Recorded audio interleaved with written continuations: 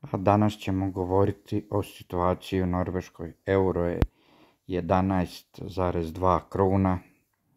Cijene divljaju. Evo sad ćemo vidjeti koliko je šta. Evo malo ovaj da prošetamo kroz.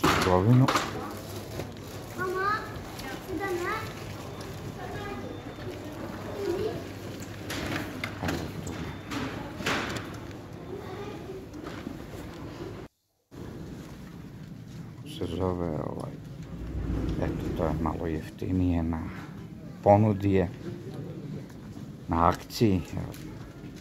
Ovaj, bobice, kako se kaže. Evo, pive ima ko u priči, ali dosta i skupa.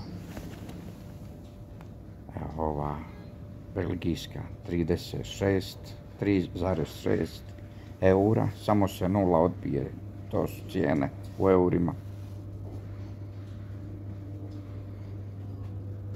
Evo to su te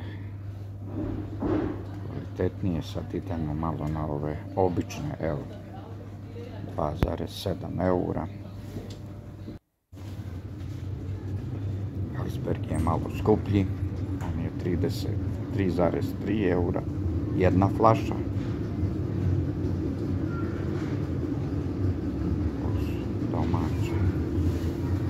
Uglavnom ova najjeftinija su oko 3 eura.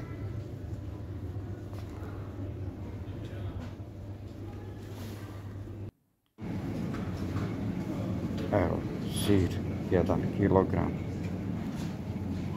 dođe 12 eura.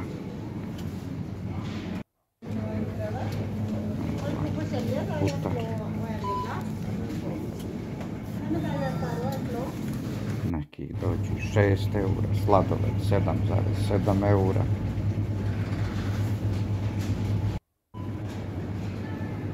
Evo ovaj pršt od ovce, od čega li je, 30 eura. Kilogram, vjerovatno. Mljeveno meso 5 eura, 400 grama. Krenovke 6 eura.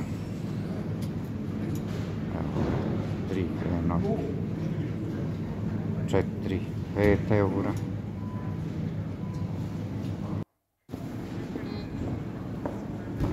Tilbu to ćemo uzeti, naravno. Samo uzimamo to što je jeftinije. Evo, pice ćemo uzeti 3, 3 za 10 eura da. E sad ovaj ribe. Bakalar sušen. 27 eura. 23 eura.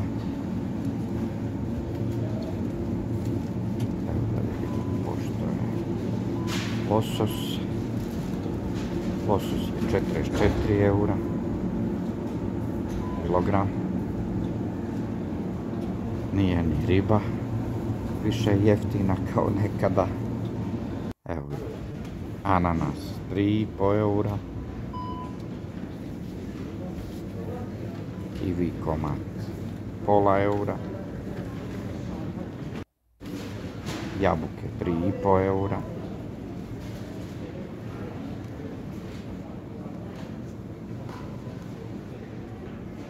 Grožđe na ponudim. 2,5 eura.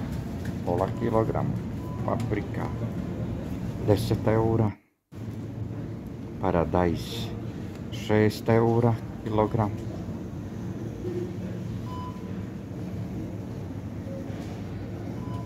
Evo ovaj malini evo banana 22 znači 2 eura.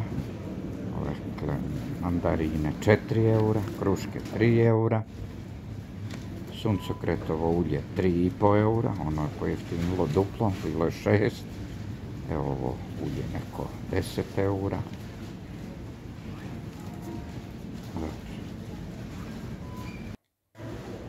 E, čokolada nije skupa, 4 za, za 10 eura od 300 grama. I tako od lijepog života Norveška dolazi u problem. Struja dođe 400-500 eura mjesečno. Tako da ovaj Norveška, evo ga, poješćemo tri hrenovke u Ikeji i to je to. To je to za danas. Mogli smo jesti i u restoranu, ali ne,